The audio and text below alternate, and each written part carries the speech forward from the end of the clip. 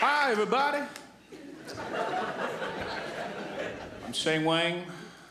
My parents are immigrants, and sometimes it's very hard for me to think about it. Like, like the whole idea of immigration sounds crazy.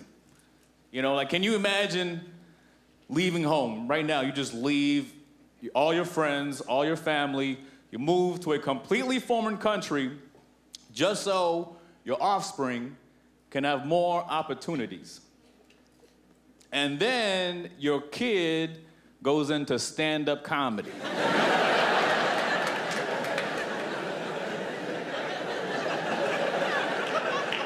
You're like, dang, son, that's too much opportunities.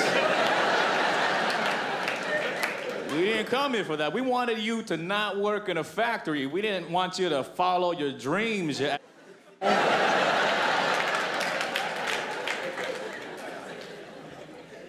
There's a little bit of pressure. You know, like I'm trying to be a better person.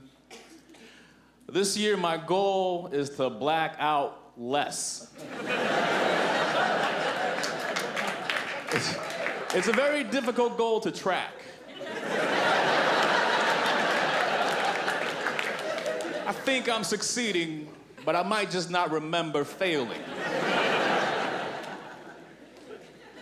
I recently went out with my girlfriend I decided she was going to be the designated driver, but I did not bother to tell her about my decision. I just went ahead and got crazy sloppy. Because actions speak louder than gibberish. It got to that point where forget about driving, folks. Forget about driving. I might not make the cut as a passenger.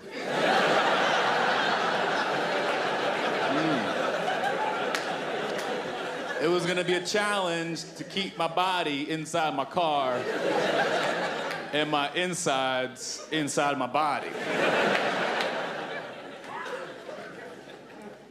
We went to a drive through and she had to keep locking the doors to stop me from getting out because I told her everybody lined up in the cars behind us, they all want to see me dance.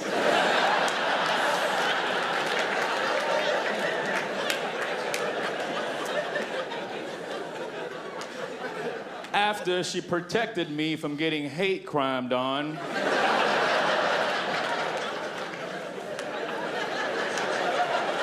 we went home, and I immediately took off my jeans because I'm about to eat seven jalapeno poppers.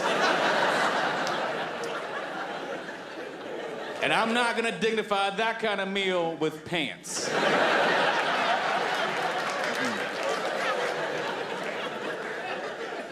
But then my girl noticed a large wet spot on my boxes. She got upset. She was like, Did you pee yourself? I said the coolest thing you could say in that situation. I said, Probably.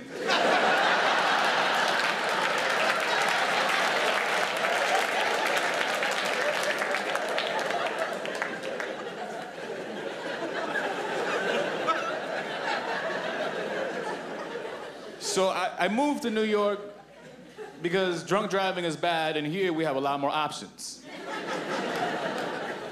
I used to live in LA, and one night I'm on the road. I wasn't sure that I was okay to be behind the wheel. I'm at an intersection, an SUV pulls up, and these beautiful Latinas roll down their windows. And they're like, hey, do you want to eat a hot dog? I have no idea what that means. So I said, yes.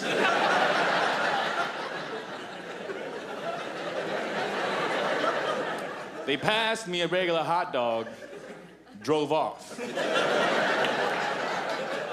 this is where things got freaky. Because with no hesitation whatsoever, I ate the whole thing in my car. At which point I realized that's a pretty good sign I'm not okay to be on the road right now. What just happened? I just received and consumed an unsolicited hot dog from complete strangers out of a moving vehicle.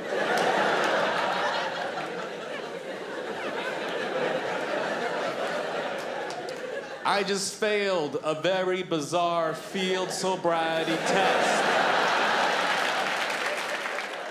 One night, I was at the Milwaukee airport waiting for a connection flight. And uh, I had this crazy idea because I found this random can of tuna in my backpack. and I was like, let's make this a heartier meal. I'm gonna put that in my salad, right? Because it's protein and it's gonna fill me up, but it's also smelly, unorthodox behavior. like, no one does that. And I was worried because if you're white and you're weird, you're a weirdo. But if you're Asian dude at the Milwaukee airport and you start to step out of line, then you just created a whole bunch of new stereotypes for your people.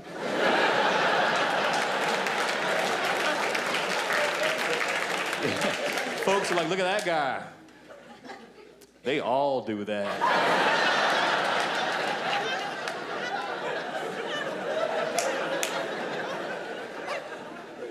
So I was paranoid. I was really, you know, concerned that people were watching me, judging me, thinking I was being weird or cheap or whatever. And then I went to this whole new level of fear. I got worried that people thought I was eating cat food.